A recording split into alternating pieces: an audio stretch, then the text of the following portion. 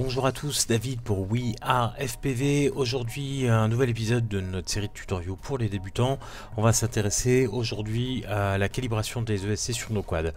Euh, avant d'attaquer, je répète la même chose, hein, quand on est connecté à Betaflight, on a obligatoirement retiré les hélices de son quad. C'est vraiment la, le, le process de sécurité vraiment de base. Ok, avant de, lancer vraiment euh, dans l'onglet moteur ce qu'il va nous falloir pour pouvoir calibrer le, processus entier que je vais vous montrer, qui, est relativement simple à mettre en place, on va juste vérifier deux petites choses. La première, dans configuration, qu'on a bien gaz maximum, maximum throttle à 2000, et commande euh, minimum, euh, minimum commande à 1000. C'est important, et on va retrouver dans l'onglet récepteur, si je prends ma radio, hop, et que je l'allume, voilà, donc j'ai bien, vous voyez que sur les gaz, j'ai bien une valeur 2000 quand je suis au plus bas, et quand je suis au plus haut, de 2000, 1999, 2000, on n'est pas un près. Euh, voilà, je pourrais essayer de la mettre plus proche. Hop, 2001, allez, on va dire que comme ça c'est bien. Donc j'ai bien une valeur de autour de 1000 au plus bas et 2000 au plus haut, exactement la même chose que minimum throttle et maximum euh, minimum commande et maximum throttle, donc gaz maximum et, euh, commande minimum.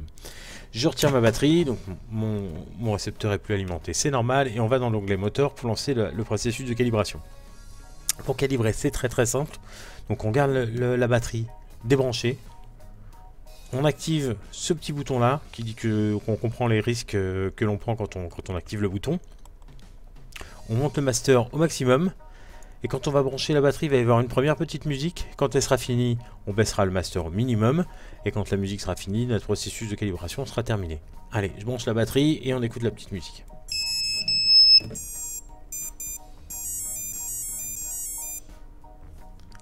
Plus de musique, je descends le volume.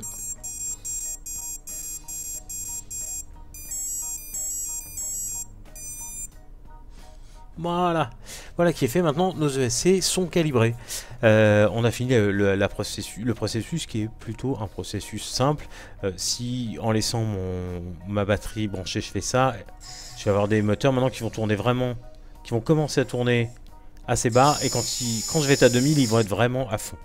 Alors, justement, ça, ça va nous servir à régler une des valeurs qu'on trouve ici, qui est euh, le, minimum throttle, c'est-à-dire le, moment à partir duquel les hélices commencent réellement à tourner si vous, êtes, euh, si vous avez le moteur stop d'activer et l'air mode d'activer. Euh, pour ça, donc on se met là, on laisse la batterie branchée, on, active ce bouton là, et sur le master, alors plutôt que de bouger le, slider comme ça à la main et de pas être très précis, vous cliquez une fois dessus avec votre souris, et après avec les flèches de votre clavier, vous savez celle qui est à côté du pavé numérique, vous mettez vers le haut, vous voyez que les valeurs ici montent, et vous allez vers le haut jusqu'à ce que, tout doucement, jusqu'à ce que les quatre moteurs se mettent à tourner de façon fluide. Voilà. Une fois que les quatre moteurs tournent de façon fluide, on sait que notre minimum throttle est par là, donc on va prendre une petite marge de sécurité. Donc moi, il, commence à être fluide, voilà, vers ici, 10-15. Hop, dans, mon, onglet configuration, je pourrais mettre 10-15, mais histoire d'avoir une petite marge de manœuvre, je vais mettre 10-30 ou 10-35. 20, 30, c'est suffisant comme minimum comme, euh, comme marge de sécurité et je sauvegarde. Et, hop, et voilà. Et maintenant, hop là. Voilà.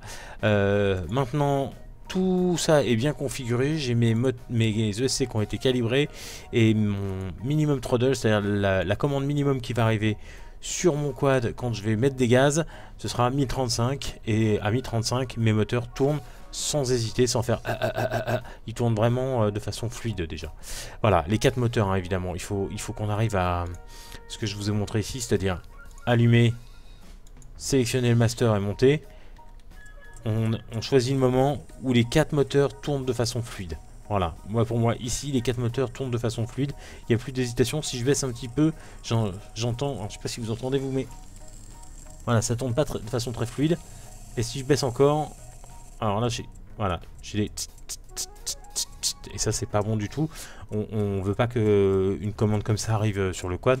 Donc on va trouver la valeur à laquelle Les 4 moteurs tournent nickel. 1015, on va prendre notre petite marge de sécurité de 15, 20, 30. Il y a, plein d'écoles. Hein. Il y a quelques, mois, la, valeur idéale, entre guillemets, euh, tout le monde disait que c'était 50.